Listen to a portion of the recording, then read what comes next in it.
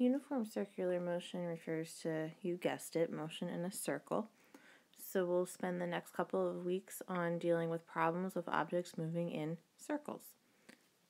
I'm going to start by giving you a few definitions relative to circles, and then we'll get into some examples on how to solve problems dealing with uniform circular motion. So first we're going to start with the definition for uniform circular motion. And all this is is an object moving in a circle at a constant speed. So that's where the uniform comes in. I say constant speed as opposed to constant velocity because the object is always accelerating. It's accelerating because as something moves in a circle, the direction is changing. So even though speed stays constant, it has to be accelerating because of that change in direction. When we refer to speed, we're talking about the linear speed of the object as it moves in a circle, also sometimes called tangential. It's tangential because the direction, if we make this velocity as opposed to speed, direction is always going to be tangent to the circle. And I'm going to draw a picture in a few slides showing the direction of the speed and direction of acceleration. So just hold tight for what that looks like, but just know tangent is always the direction of that velocity. And we use speed because it's kind of always a given of what direction the object is moving.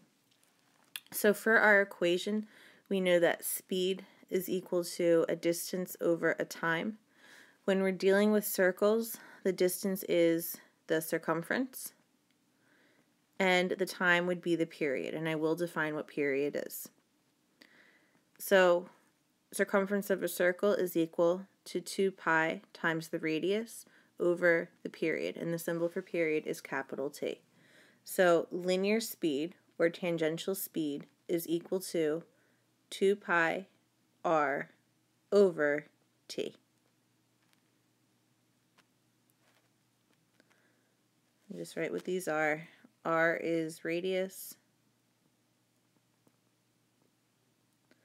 t is period. And again, I'm going to define this on the next slide.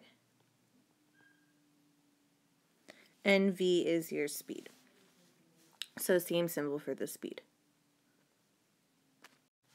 So we've got two terms dealing with time when it comes to circles. The first would be period.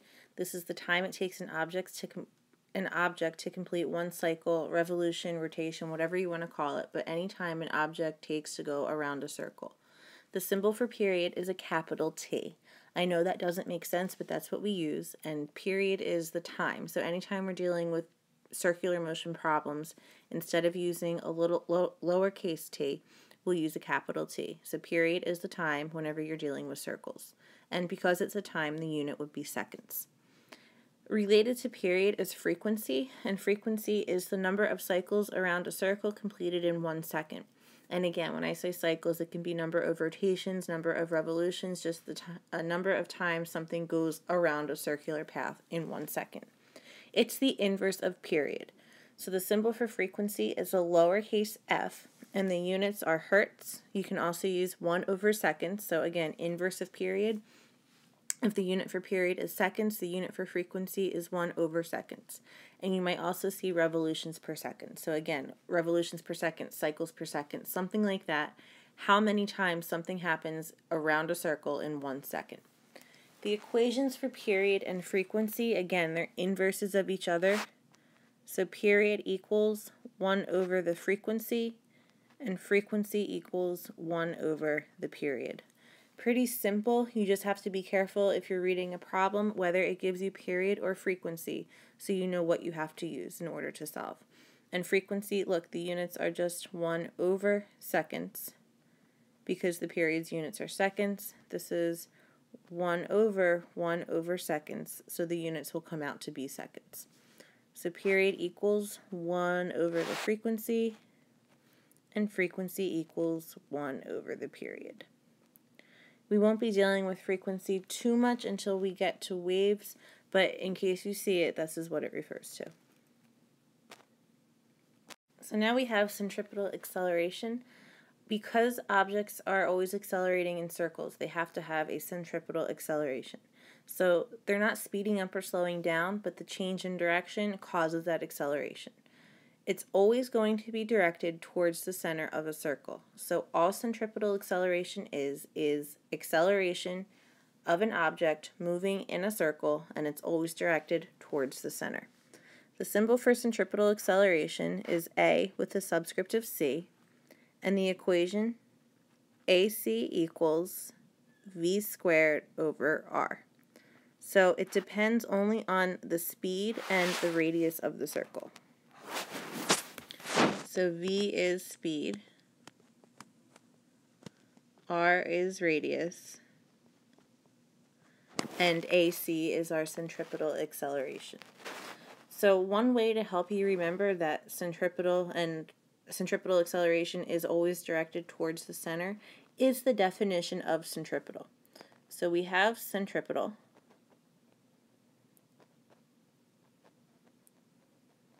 And if we break this apart into century and petal, this refers to center, and petal refers to seeking or loving. So the word centripetal literally means center seeking or center loving. So if you have centripetal acceleration, it has to be directed towards the center. Okay, so now we come to centripetal force. This is the net force of an object in uniform circular motion. It exists because objects moving in a circle have an acceleration, and if something has an acceleration, Newton's second law tells us there must also be a net force. Again, look at the word, centripetal. It's in the same direction as acceleration, so it's towards the center of the circle. The symbol for centripetal force is F with a subscript of C, not to be confused with the contact force that we've used before. So FC for centripetal force, it's essentially net force in a circle. So because of that, centripetal force will not appear in a force diagram. It works the same way that net force does in that the centripetal force is directed wherever your forces are longer. But you do not draw FC in a force diagram as the centripetal force. The equation for centripetal force. So we know that net force is equal to mass times acceleration from Newton's second law. So centripetal force is again the net force in circles. So Fc is going to equal the mass times the centripetal acceleration. And we know that centripetal acceleration is equal to speed squared over radius. So centripetal force is equal to mv squared over r. but this will work as well. Again, because AC is centripetal acceleration, which is v squared over r. So write out what all of these are. So Fc is our centripetal force, m is the mass, v is the speed, r is the radius. Or over here, it was the same thing. AC is your centripetal acceleration.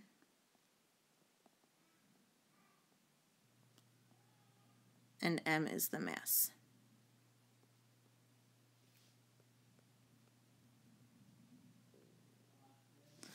So again, centripetal force is the same thing as net force. It's just what we call the net force if you're dealing with circles. Centripetal means that it is center seeking or center loving. So just like centripetal acceleration, it's directed towards the center of a circle. I'm going to show you um, a diagram that should help you figure out what the direction of all three of these things are. And by three of these things, I mean the direction of the velocity, the direction of the centripetal acceleration, and the direction of the centripetal force. Okay, so let's start with a circle. We have our circle and we want to show our velocity, our acceleration, and our centripetal force. So I'm going to use three different colors. Let's do blue for velocity, red for acceleration, and purple for force. By definition, as an object moves around a circle, the velocity is going to be tangent to the circle. So tangent to the circle is this direction. That's a really bad line. Let's try this again.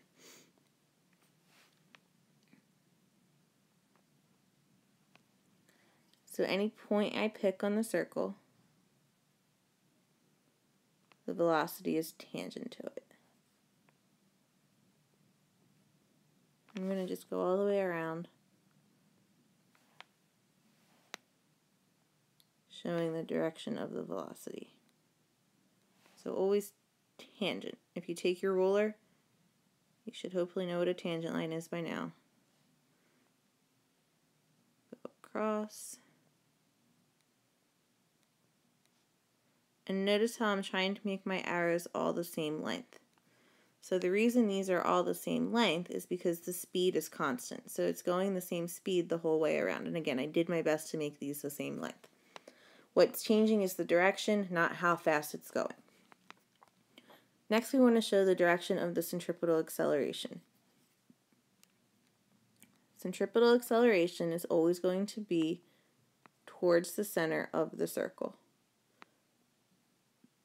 So it doesn't matter where I am in the circle, centripetal acceleration points towards the center. And because it only depends on the speed and the radius, the radius of your circle will stay constant, as will the speed. The length of all of these arrows should stay the same. So my acceleration amount is going to be the same. It's the direction of it that changes, and again, the direction is based on where the center of the circle is at each point. And the last thing I want to show is my centripetal force. That's going to be in the same direction as the centripetal acceleration times whatever the mass is. So your centripetal force is still going towards the center of the circle. Since the mass of your object won't be changing, the length of the centripetal force should remain the same the whole time as well. So it's in the same direction of the acceleration towards the center of the circle, and it's the same length the whole time. So speed or velocity are always tangent to the circle. Acceleration and force are always towards the center of the circle. I want to address one word that is usually used when it comes to circles, explain why it's wrong, and then we'll get into some examples. Okay, centrifugal force. This is fake. It's fictitious. It's a physics expletive. There is no such thing as a centrifugal force it, because it's not an interaction between two objects. So a force is an interaction between two objects. This is not. There is absolutely nothing that pulls an object away from the center of a circle. The acceleration is directed towards the center, the centripetal force is directed towards the center. There is nothing pulling you away from the center of a circle. So, what you actually feel is inertia.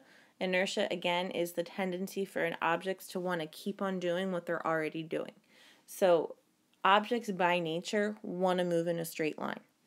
Your inertia is what makes you feel as though you are being pulled away from the circle because your object or your sorry, your body or whatever object wants to move in a straight line. You have an outside force that pulls you towards the center of a circle. So centrifugal, if we look at the root words of this, century refers to, again, center. Fugal means fearing. So there is no center fearing force because forces are always directed towards the center. They love to go towards the center if you uh, if you've ever been on the ride the gravitron at a carnival you feel like you're being pushed back into the wall as it's rotating and going towards the circle. All that is is your body wanting to move in a straight line and the centripetal force pulling you in. So it's your body's resistance to moving into a circle. There's nothing actually pushing you away. So this is a bad word. We don't want to use it in physics class Okay, I'm going to do uh, the three examples, three of the four examples from your packet that say circular motion examples. I'll start with numbers 1, 2, and 3, and we'll do 4 at a later time. So number 1 tells us that the second hand on a particular clock has a radius of 0.30 meters. We want to determine the second hand's period, frequency, and speed. So what we have here is a clock, and then we're looking at the second hand. It's moving around in a circle and the radius of the second hand is 0.30 meters. So our given information, obviously radius, is 0.30 meters. Things we want to find. Part A is asking for the period. Part B is asking for the frequency. And part C is asking for the speed. It's the second hand on a clock. So that's that longer hand that goes around the clock in 60 seconds. So that's going to answer part A pretty easily. The period is equal to 60 seconds because it takes 60 seconds to go around the circle once. Part B is asking for frequency. If you remember, frequency is the number of times something goes around a circle in one second. It's also the inverse of period. So frequency will equal 1 over the period, which is equal to 1 over 60 seconds. 1 divided by 60 is equal to 0.016, keeps on going, 1 over seconds. We've only got, uh, we have two sig figs here, so sorry, this was 60 point seconds up here. So two sig figs. The frequency is approximately equal to 0.017 second, 1 over seconds. And then part C is asking us for the speed. So if you remember, when dealing with circles, speed is equal to the distance of a circle, so 2 pi times the radius, the circumference over the time dealing with circles, period. So this is equal to 2 pi times 0.3 meters divided by 60 seconds. 2 pi times 0.3 divided by 60 is equal to 0 0.0314, keeps on going, meters per second. So two sig figs, I'm out of room, I'll write it over here. The speed is approximately 0 0.031 meters per second. It's a pretty straightforward example, just looking for the more basic things with circles. Let's look at the next two. A bowling ball has a mass of 7.3 kilograms. If you move it around a circle with a radius of 0.75 meters at a speed of 2.5 meters per second, what force would you have to exert on it? So here we've got a bowling ball moving around in a circle. These diagrams are usually fairly straightforward, so the bowling ball is moving that way. What are we given? We know that the mass is 7.3 kilograms. The radius of the circle is 0.75 meters. And the speed is 2.5 meters per second. And it's asking us to find the force you would need to exert on it. In this case, the bowling ball is moving around in the circle. You've got a force directed this way at the bowling ball. So what we're looking for is whatever our centripetal force is. In this case, the centripetal force would be your net force because if we look at a force diagram, the way I drew my picture, you're going to have some kind of contact force. So let me just show that this is contact, not centripetal force. You're going to have some kind of contact force exerted on the bowling ball to get it to go towards the center of the circle. However, that will equal your centripetal force because it's the only force on the bowling ball in that direction. We know that centripetal force is equal to the mass times the speed squared divided by the radius. We were given mass, radius, and speed. So just plug the numbers in. We get 7.3 kilograms times 2.5 meters per second. This is squared divided by 0.75 meters.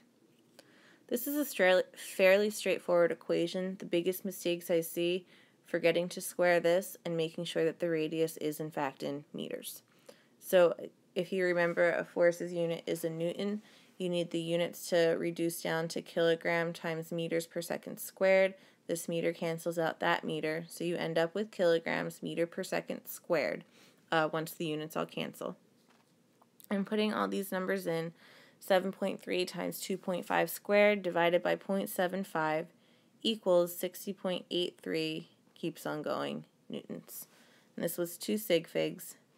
So the force you have to exert on it, we're looking for the contact force, which is equal to the centripetal force in this case, is approximately 61 newtons. Okay, and we've got one more example. A fishing line has a weight on the end of it with a mass of 0.028 kilograms, a length of 0.75 meters, and a period of 1.2 seconds. What is the centripetal force? So here we've got a fishing line, there's a weight on the end of it, and it's moving around in a circle.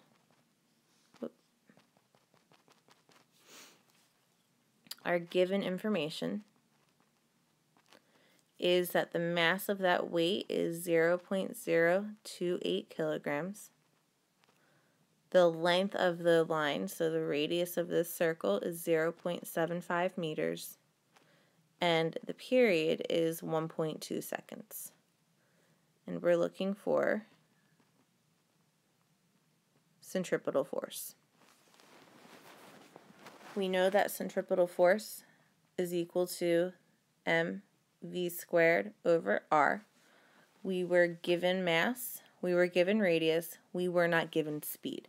However, we know that when dealing with circles, the speed is equal to the circumference 2 pi r over the period. We have radius and we have period, so what we can do is figure out what speed is and then plug that back into here. So the speed is equal to 2 pi times 0.75 meters divided by 1.2 seconds. This equals 1.5, 0 keeps on going, meters per second. Coming now over to my centripetal force equation. Fc equals the mass 0.028 kilograms times my unrounded speed. So we want to use the unrounded number. 1.50 keeps on going, meters per second squared, divided by the radius, 0.75 meters. Multiplying all of this out, we get centripetal force equal to 0.575, keeps on going, newtons, with two sig figs. Centripetal force is approximately equal to 0.58 newtons. I know this was a lot. I know this was a, quite a few examples and quite a few definitions, but you need to make sure that you understand everything there is about circular motion in terms of what direction is the velocity, what direction is the acceleration, what direction is the force, why do we have a force, and then how this all comes together. We'll be working on some practice tomorrow just with the more basics, and then we'll get into a lot more math and problem solving later on.